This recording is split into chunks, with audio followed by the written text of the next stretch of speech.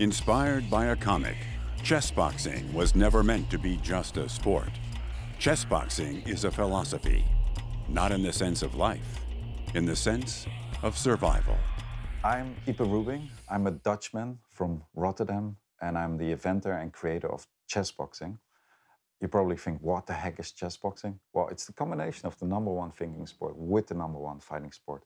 And ultimately, we're on the quest for the smartest and toughest man or woman on the planet.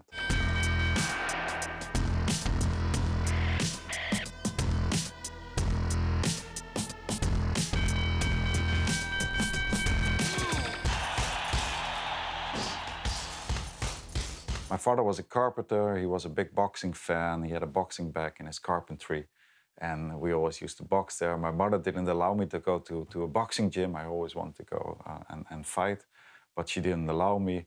My father taught me the game of chess. Years later, when I was studying in Amsterdam, I used to play a lot of chess with my friend Jean-Louis Veenstra, and then I moved to Berlin, and I picked up boxing in this old GDR boxing gym. And when I came back to Amsterdam, I met my friend Jean-Louis Veenstra in a bar, and we were having our second beer, by the way. And I told him, well, I feel great. I started boxing and, and you know, like gives me a lot of energy. And he says, wow, me too. There were five friends and they all turned around and said, whoa, whoa, whoa, whoa, are they going to do a fight? Because you know how boys are. And he said, like, you want to fight me? Yeah, sure, I want to fight you. And then it all came together because I recalled this comic where there's a depiction of a chess boxing fight. And I said to Jean-Louis, we're going to do a fight but we're going to do it different and we're going to measure ourselves on every potential level. We're going to do a chess boxing fight. He said, What? Let me figure out the rules. He said, Sure, let's do it. And eight months later, we ended up in an old church in front of a thousand people doing the first chess boxing match. Lewis the lawyer, Andy let's get ready to rumble your brain! Yeah, the first fight, first chess boxing fight, was intense. It was my first boxing fight, and everybody who's been in the ring knows that this is like uh, it's like almost like losing your virginity. I wasn't the best boxer in the world, and neither was I the best chess player in the world, but we happened to be the first two chess boxers in the world. There were a thousand people who didn't know what to expect in this old church, and uh, we were really well prepared actually. And uh, we had an Alekhine defense with black, which is a very defensive opening. And because I knew I was the better chess player, I wanted to, you know, like drag uh, Jean-Louis into a complex uh, situation. So I, I, was better in calculating.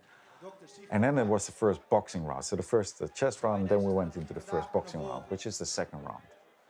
And after trading the first punches, it felt like, wow, this feels good. And it felt really good. Then coming back to the chessboard in the third round, I overestimated my whole position and I basically destroyed my whole strategy and I started pushing the F pawn, which is basically the worst thing you could do in an Alekhine defense. My chess trainer was he was going mad. This is the hard thing, uh, you know, to master in chess boxing, and this is what we train. But it was the first fight, and it did everything wrong. He was pushing it in the chess, so I pushed it in the boxing round, but I couldn't get through. I mean, I got through, but he didn't go down. So that's when we ended up in the in the last boxing round, the 10th round. So I come out guns blazing. Jean-Louis Veenstra, he's not in the game, you can see it. He's not throwing any punches, he doesn't feel confident. I'm, like almost every punch that I throw is hitting my friend. I'm ready to finish him off, and that was when the bell went off. And at this moment, people were just like completely into the game. People were screaming, thinking, what is going on here? This is so intense. These guys, guys are fighting like, like crazy.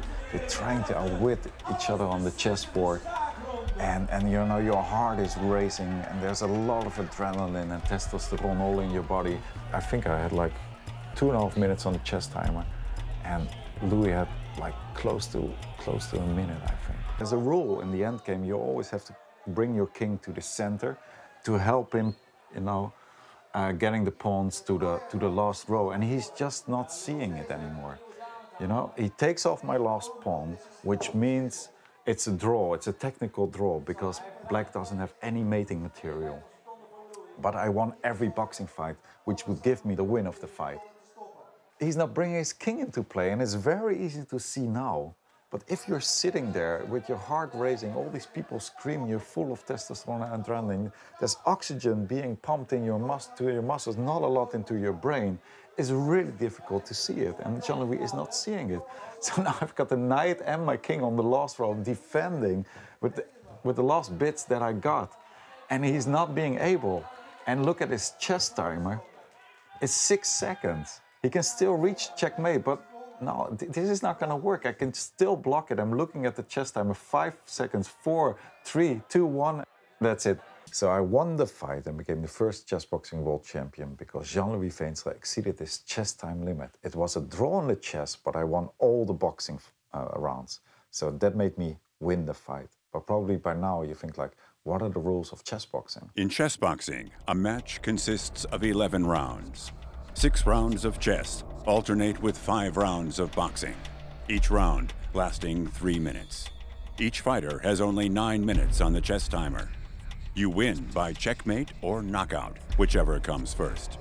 Exceeding the chess time limit also leads to defeat. If there's a draw in chess, there's another boxing round.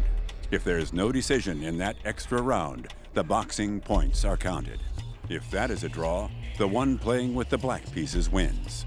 If the referee sees that a fighter is stalling for time during chess, he gets a warning and 10 seconds to make a move. If he doesn't, he will be disqualified. This dynamics of alternating rounds works very well. There's a, there's a lot of tension because somebody is trying to push it in the chess, the other one is pushing it in the boxing, and, and uh, there's, there's a great dynamic in there. The goal of the rule book was always that the, both sports had to be in balance. You can't rely on the chess, you can't rely on the boxing. They worked quite well from the beginning. We changed uh, the rules a bit because the chess was too dominant.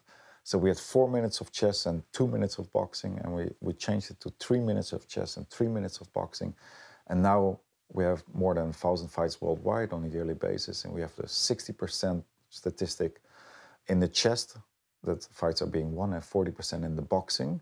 We're quite happy with that yet, but we're constantly monitoring um, the fights and the statistics. Thanks for watching ESPN on YouTube. For more sports highlights and analysis, be sure to download the ESPN app. And for live streaming sports and premium content, subscribe to ESPN Plus.